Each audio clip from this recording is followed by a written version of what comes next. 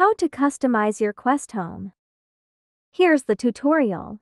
Step 1. Open the Meta Horizon app on your phone. Go to Menu, Devices, Your Quest, Headset Settings, Developer Mode, and enable Developer Mode. Step 2.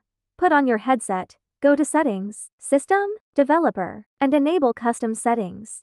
Step 3. Go to the Meta Store, search and download Moon VR Home. Step 4. Go to this website, then download Moon VR Home Installer. After the download is complete, you will have an APK file on your PC. Step 5. Go to the SideQuest official website and download the SideQuest Advanced Installer. Then install the SideQuest Advanced Installer on your PC. Step 6. Connect your headset to your PC using a data cable. Then, run SideQuest on your PC. Return to your headset and a pop-up will appear. Click Allow. Step 7. Go back to SideQuest and click on Install APK file from folder on computer button in the top right corner.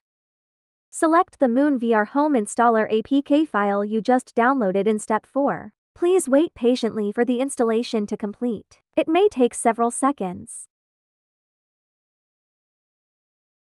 Note, if you encounter difficulties at this step, such as receiving an unauthorized message, try restarting both your PC and headset. After the installation is successful, you will find Moon VR Home Installer in App Library, Unknown Sources. Step 8.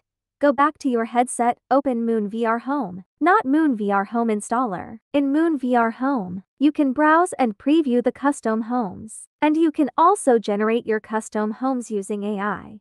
Final step. Find your preferred custom home. Click it to list at the bottom. Then click the button in the lower right corner and select Download All. Allow, allow, allow no matter what pop-up appears, just allow it. Close Moon VR Home. Go to Settings, Personalization, Virtual Environments. Find the custom homes you just downloaded and enjoy.